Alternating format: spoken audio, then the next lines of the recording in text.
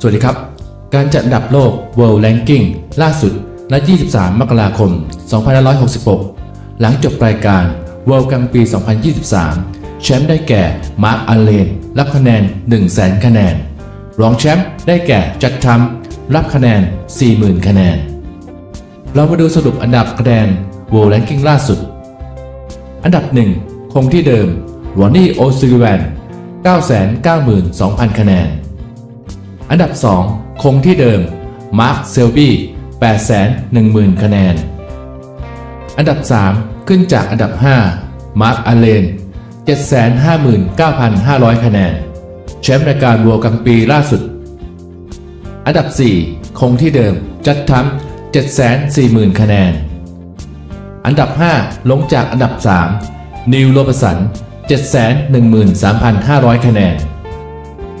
อันดับ 6 คงที่เดิม จอห์น ฮิกกินส์ 490,500 คะแนน อันดับ 7 คงที่เดิม มาร์ค เจ วิลเลียมส์ 465,500 คะแนน อันดับ 8 คงที่เดิม ไคเรน วิลสัน 441,500 คะแนน อันดับ 9 คงที่เดิม เจ้าซินถง 417,000 คะแนน อันดับ 10 คงที่เดิม ลูก้า เบเซล 375,500 คะแนน อันดับ 11 คงที่เดิม ชอน เมอร์ฟี่ 352,500 คะแนน อันดับ 12 คงที่เดิม แจ็ค ลิซอสกี้ 329,000 คะแนน อันดับ 13 คงที่เดิม แบร์รี่ ฮอว์กินส์ 320,000 คะแนน อันดับ 14 คงที่เดิม สจ๊วตบิงแฮม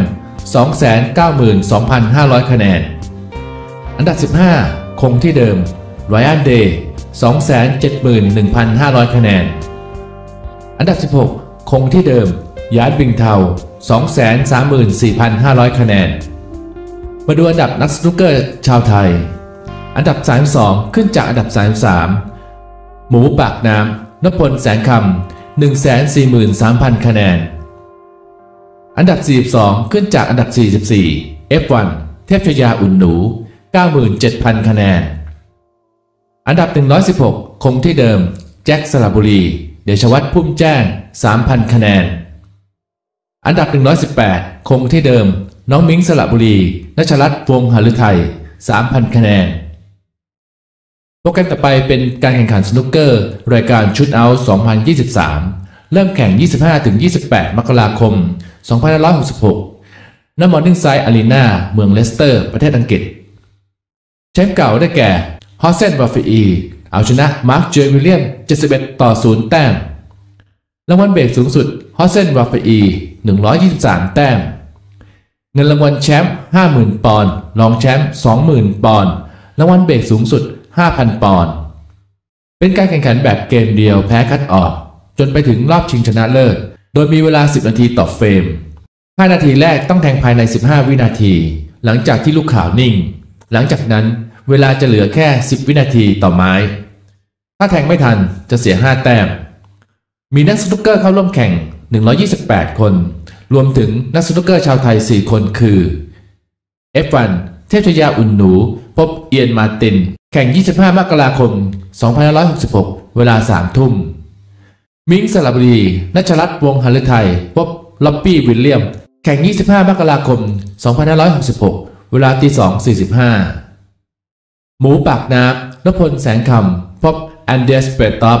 แข่งวันที่ 26 มกราคม 2566 เวลา2ทุ่ม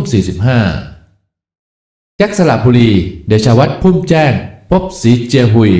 แข่ง 26 มกราคม 2566 เวลา5ทุ่มครึ่ง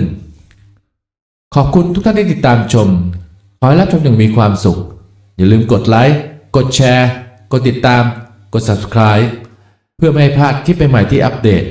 ขอบคุณครับ